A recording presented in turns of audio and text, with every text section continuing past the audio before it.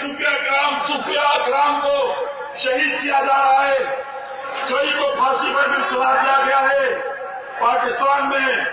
بے گناہ شہید ہونے والے سنی قادری، سلیم قادری، عباس قادری، ممتاز قادری اور ہمارے شریف علامہ احسان ذہی بھائی اسی طریقے سے ہمارے بہت ہی محترم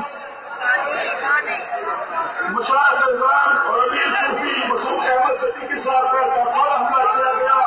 ایک کپارہ حملے کو ہم پورا بنگال مذمت کی مذمت کرتا کہا گیا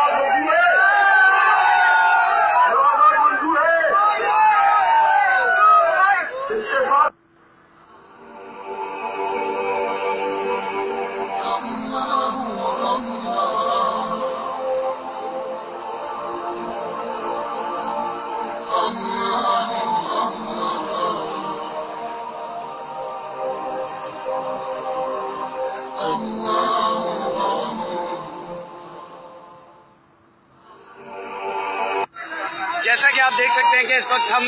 کراچی ایم اے جنا روڈ پر موجود ہیں اور ایم اے جنا روڈ کو مکمل بلاک کر دیا گیا ہے۔ پاکستان مسلم الائنس کے جلسے میں تمام قائدین کی قیادت میں قرارداد پیش کی گئی کہ علماء اور مشائق کو جو شہید کیا گیا اور ان کے اوپر اب تک جو قاتلانہ حملے جاری ہیں، جس میں ابھی حال ہی میں صوفی مسعود احمد صدیقی لسانی سرکار صاحب پر قاتلانہ حملہ کیا گیا تھا، اس حوالے سے جلسہ گاہ کے اندر ایک قرارداد پیش کی گئی، جس کو عوام الناس کے جمع غفیر نے اس کی تائید کی اپنے قائدین کی قیادت میں۔ اور جیسا کہ ابھی آپ دیکھ سکتے ہیں کہ سارے مظاہرین اس وقت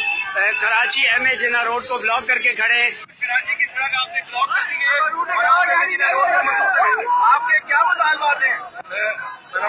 ہے کہ جو علماء مشاہد پہ کافرانہ حملے ہو رہے ہیں، جیسے کہ ہمارے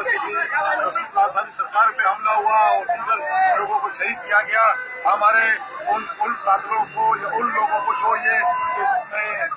سین کو گرفتار کیا جائے اور یہ چیک کیا جائے کہ کون ان حرکات کے پیچھے دوسروں کو شہید کرنے والے ہیں حملے کرنے والے ہیں۔ ہزارہ صوبہ میں سات لوگ دو ہزار دس میں شہید حاصل کرنے کے لیے انہوں نے جد و جہد کی اور سات لوگ شہید ہوئے صبح حاصل کرنا تو کوئی بری بات نہیں ہے۔ ان شہدا کی آج تک ایف آئی آر نہیں کاٹی گئی ہے۔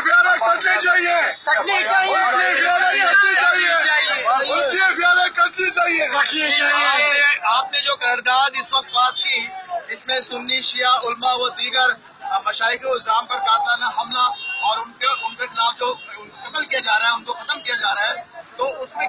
جماعتیں آپ کے ساتھ موجود ہیں تیئیس جماعتیں ہمارے ساتھ موجود ہیں ہمارا پرزور مطالبہ ہے۔ ان میں مین جماعتیں کون سی ان کے نام بتائیں گے۔ اس میں آل پاکستان مسلم لیگ سنی تحریک پاکستان اسلامی جمہوری اتحاد پاکستان مسلم لیگ جنہیں جو پاکستان کنزرویٹو پارٹی آل پاکستان مسلم لیگ مشاہد اس طرح کی کئی جماعتیں ہیں جو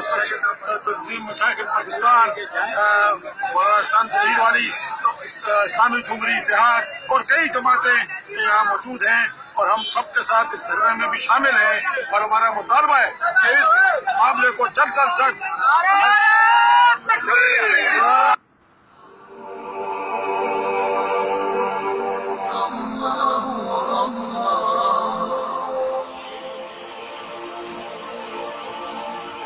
الله